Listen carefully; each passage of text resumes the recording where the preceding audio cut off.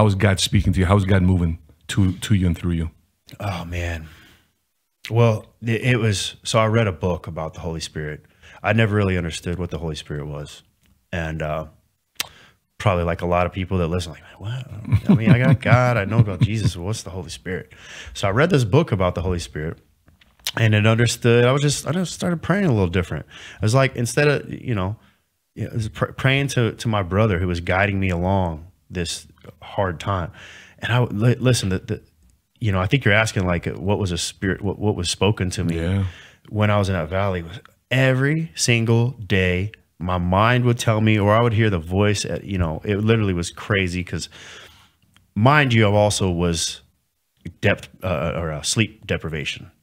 So part of me thought I was going a little crazy. I, mean, I wasn't sleeping at night, not at all. Like I would wake up and I would have a piece of paper and I'd tally how many times I go pee in the middle of the night. Wow. It would be 15 plus every night. So you're not getting deep REM sleep. You're not getting any No, REM exactly. sleep. No. So after a few months, yeah, I mean, first I know what you know some of these veterans and people go through that are forced to go Yeah. through sleep deprivation. Yeah. Yeah. you're a little nuts, man. And um, but I would hear this like you're strong, but you're gonna be stronger. And I remember thinking like I just wake up in the middle of the night like I'm strong. And I would start repeating it over and over and, and out loud. Like, I'm yeah. strong and I'm going to be stronger. Like I'm strong. And I would, it was just constantly in my head yeah. from, from February to September, 2011.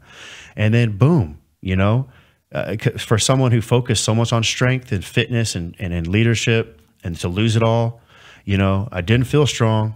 I was, I was withered away. I look, I looked like a crackhead. Mm. You know, I mean, mm -hmm. I mm-hmm. had uh, my face was sunken in. I'm, I'm, too 210 right now. Imagine me 145. Wow. Like, so, yeah. but boom, you know, that, that, that thought and that, you know, if it was the Holy Spirit, God tell me whatever it was saying, you're strong.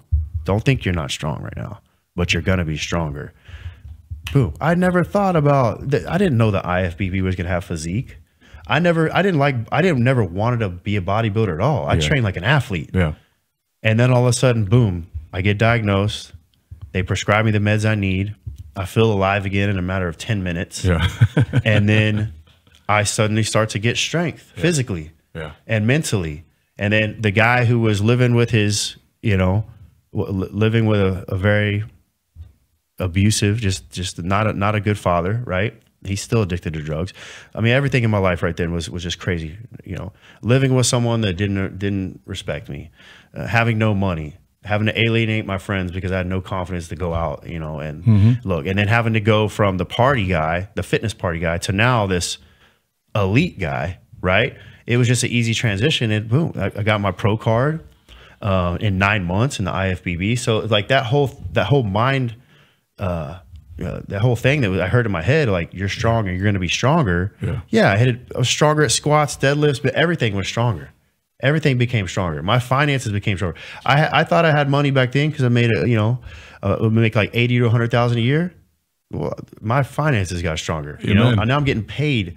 You know, 2012, 2013, I'm getting paid to endorse companies. I'd never believed I could do that at all. Wow. You know, instead of making you know eight eight thousand dollars a month, double that, Love triple that, quadruple that. You know, and it just kept growing. So everything became stronger, and God was right. You know, I, I got stronger in every aspect of my life, but I had to go through that that rough that rough time. Amen to that, brother.